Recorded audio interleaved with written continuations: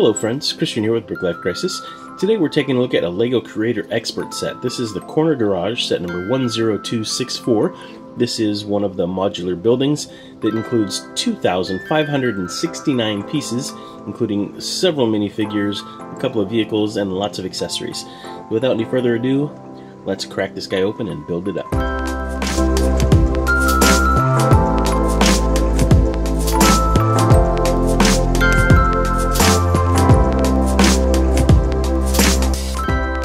Here we have it. This is LEGO Creator Expert Set number 10264, the Corner Garage. This is the most recent, as of this recording, of the Creator Expert modular buildings. Uh, this set includes a service station, a veterinarian's office, and an apartment. Uh, let's go ahead and take a look at each component one by one, starting with these minifigures.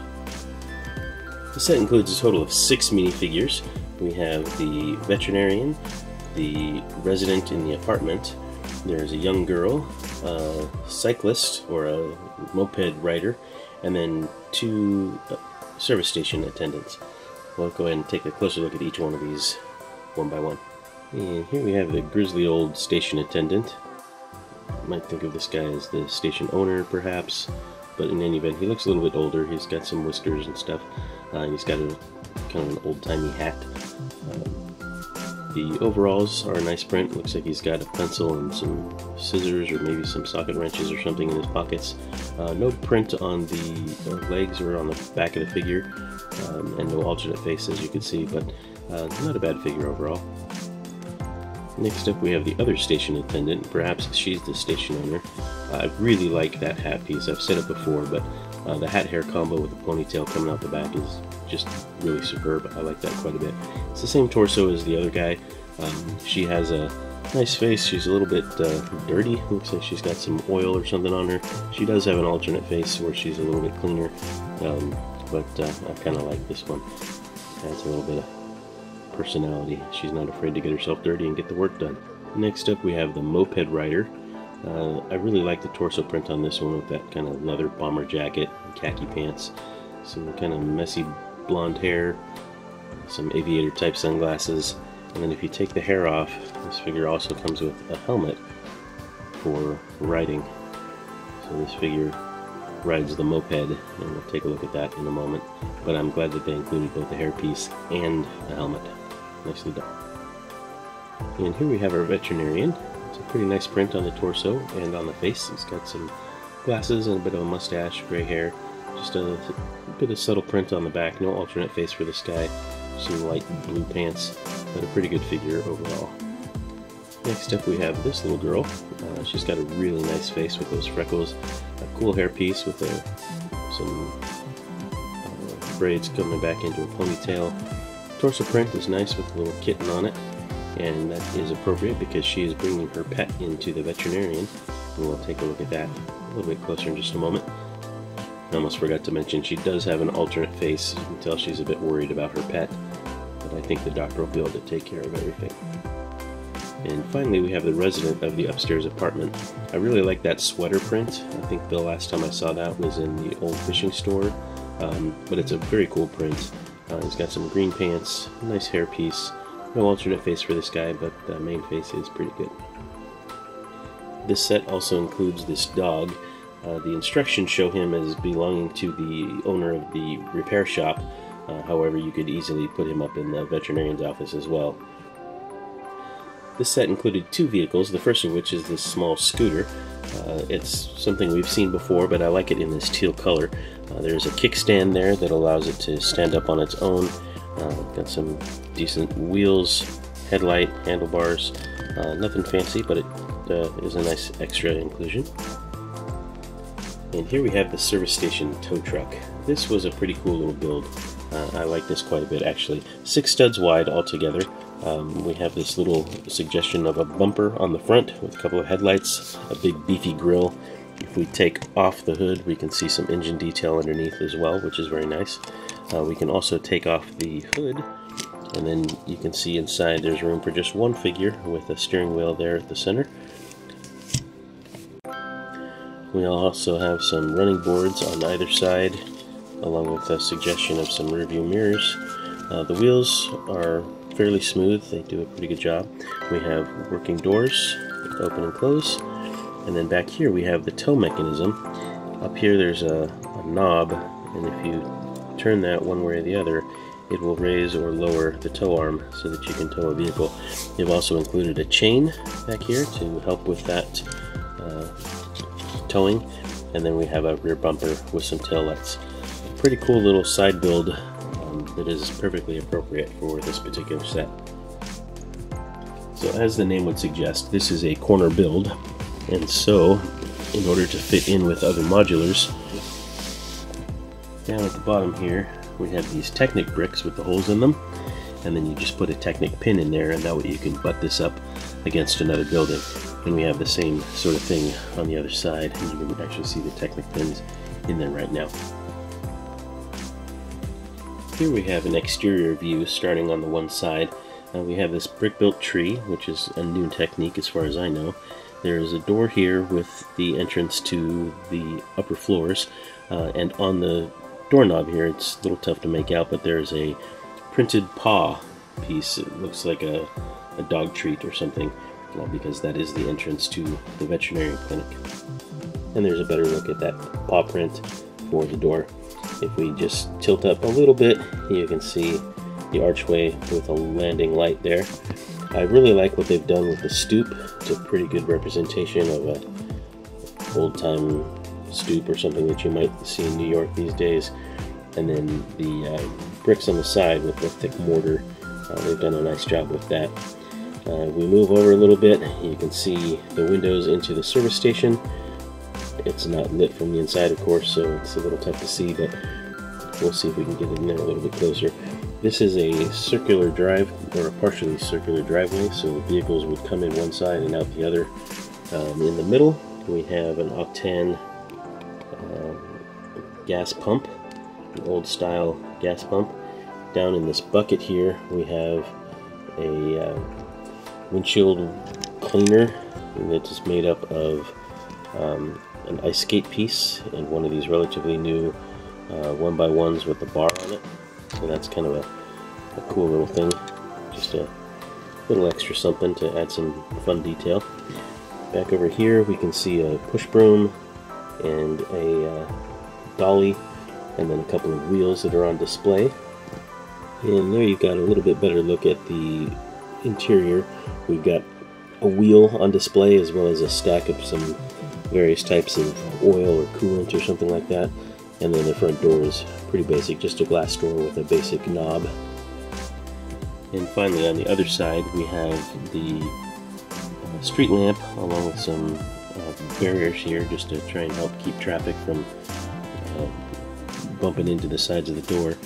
And then the door will open up so that you can roll your vehicle inside, and we'll show you a little bit more of that in just a moment. The action on the door is actually presented on the side. So above these wheels that are on display, there's another wheel up here with a little tire on it. And as you turn that, it opens the door. The action doesn't work as well going down. You might have to give it some assistance and just pull it down. But going up, it's nice and smooth. And we have a couple of coach lights just outside, under, or, uh, under the sign and above the door. I really like the look of this uh, drive under kind of a thing. They've got this um, awning or something that uh, covers the entrance.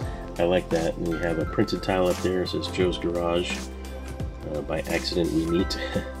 That's pretty well done. And then we have this brick built sign over here for the garage with the uh, the wrench there. Nicely done. Let's go take a look at the interior. Um, this is the interior. It's a little tough to see, but um, there's a cash register with a little bit of cash on the counter there. And then there's a, a tire mounting machine. I don't know what you call that thing technically, but that's made up of one of the new Harry Potter wands uh, to act as the piece that uh, separates the tire from the rim. And then underneath the stairs we have a toolbox. Um, it's not a full complement of tools like I might have expected, but they've got a brick built toolbox with a brick built vise, and then there's a hammer and a wrench. And then over here we have the uh, vehicle lift, and I'll show you that in greater detail right now.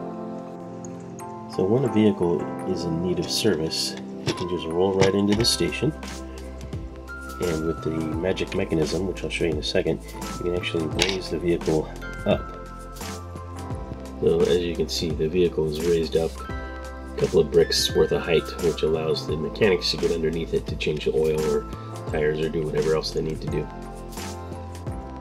And around the back we have the rear entrance. As you can see we have a can of oil or something there and then uh, what looks like a recycling bin. But that recycling bin also acts as the mechanism. If you push that in, you probably heard that click, then it raises the arms so that the vehicle uh, can be lifted. So there's a look at that lift mechanism. Right now it's raised, now it's lowered, raised, lowered. So it just raises it up and it's probably about an inch maybe, uh, or a couple of bricks in height, but it, it's kind of a cool little play feature.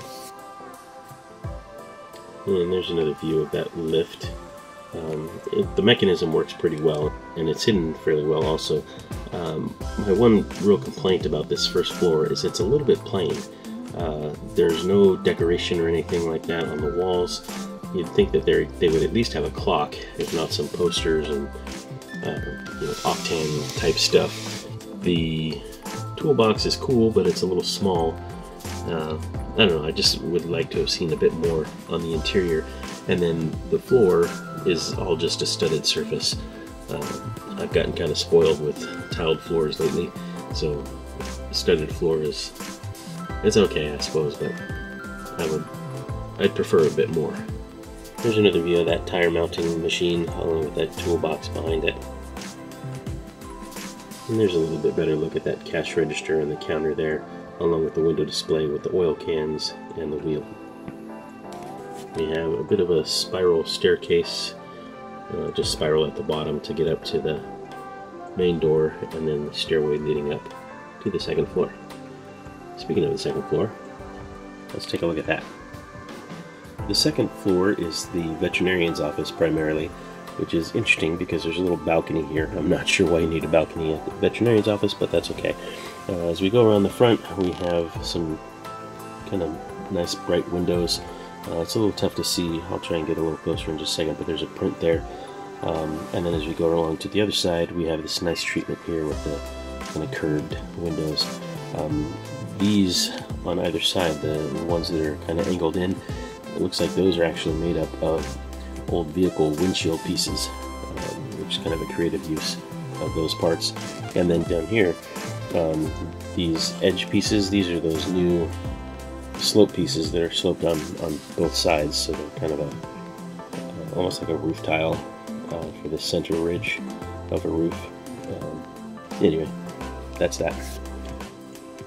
And that is the window print um, for the veterinarian's office. I really like that uh, joke there. The Dr. Jones Animal Care, no snakes. Dr. Jones, as in Indiana Jones, who has a phobia of snakes. I just think that's kind of funny.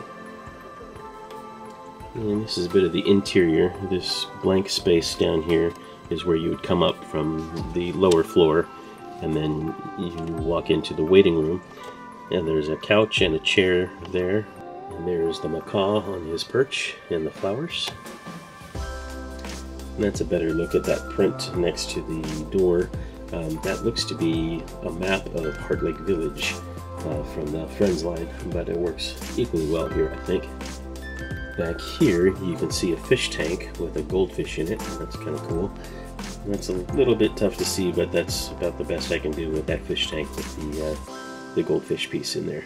And then there's the door to the exam room itself. When we enter the exam room, we have a desk with a newspaper, some mail, and a coffee mug with that uh, Luxo-style lamp. And there's just a little bit closer look at his desk. There's a chart on the wall to help the doctor keep track of his patients. Over here we have an amphibian habitat, I guess, with a heat lamp, a water bottle, and uh, some other stuff there. There is a frog in the amphibian habitat along with that water bottle and some other stuff. And then if we look around, we can see what is a microscope and then some tools. There's some scissors and a syringe down there. There's a little bit better look at that table with the tools and the microscope. Let's go and take the stairs up to the third level. Before I show you the third floor, I wanted to point out that there is a missing part from this. There should be another one of these pieces right here, but it was missing from my set. Again, starting on the one side, we have a nice set of windows there with some greenery outside. As we move along the front, we have some more flowers and big windows and some nice detailing underneath. And if we come across the other side, we have a similar window setup as we did downstairs. And here we have the kitchen with a stove, uh, and on the countertop you can see a clear glass mug, salt and pepper shakers, there's a spoon and a cleaver hanging on the wall. We have sink with hot and cold taps, and a clock. If we move over just a bit, we have a water closet. We open that door, and you can see the toilet inside, complete with a toilet paper roll on the floor there, which is kind of a fun detail. If we turn around a little bit, we have a rock and roll poster or maybe a, a framed record on the wall, along with a, a Lego truck. So this guy is an AFOL, and he is displaying his favorite truck piece. Of course, because he's a collector of Lego, he is constantly broke, which means he has kind of a chintzy bed. then over here, we have an old school television. Um, the build on that is pretty cool. Um, it's a little thin for an old school TV. It should be a cathode ray tube, and that looks more like a an LED panel or something. But I like the detail with the the rabbit ears on top. It has a somewhat comfortable looking sofa to sit on. Again, with the other floors and this one, I, I wish they were tiled uh, instead of having studded surfaces all the way around, but uh, I guess there's only so much they can do uh, and keep the price at $200 or less. Let's go ahead and take the stairs up to the roof. So this is what the bottom of the floor structure should look like with these rounded pieces. So there should be six of them. One, two, three, four, five, six. And this floor has six. But as I said, the top floor, I'm missing one of these, so it's not quite as sturdy as it should be. So I'll be contacting LEGO to try and get that replacement. The detailing on the roof area is really nice. I like all of this detail. Uh, the architectural elements are really nice. And that continues all the way across. That center cap is really cool. As we continue around, we have a similar theme. On the rooftop, we have a little bit of a relaxing area with this lounge chair underneath the umbrella. There's a bit of a garden over here with some flowers in it. There's a steam stack or something like that uh, right next to the roof access, and that's just a couple of doors that open up to the stairs that lead down below. Not too bad.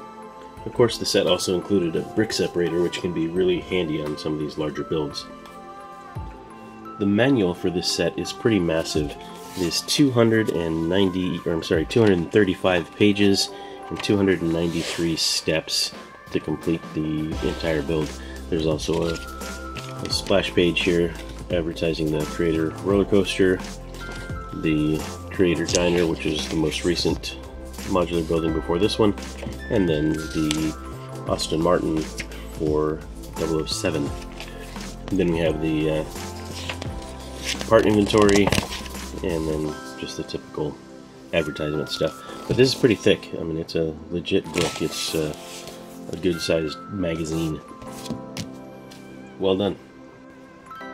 So this set retails for $200 here in the United States, which is, I guess, not too bad considering the piece count, which is pretty impressive. However, this set does not seem to have quite as much life as some of the other recent uh, modular buildings. As I said, the main floor, or the, the first floor with the garage, just seems kind of empty to me. The floors are not tiled, so they just don't have the finished look that some of the others have had. And this had some interesting build techniques. It was definitely a pleasant build. Incidentally, it was about a seven hour build for me with uh, just a couple of small breaks, so not too bad. Uh, I like it overall, I just wish it was a little bit more. Um, it's built on a standard 32 by 32 base plate, but you're only taking up roughly half of that base plate because you have that big driveway and the sidewalk area and then the big alleyway kind of backdoor thing. So there's a lot of space that is not being used for real estate.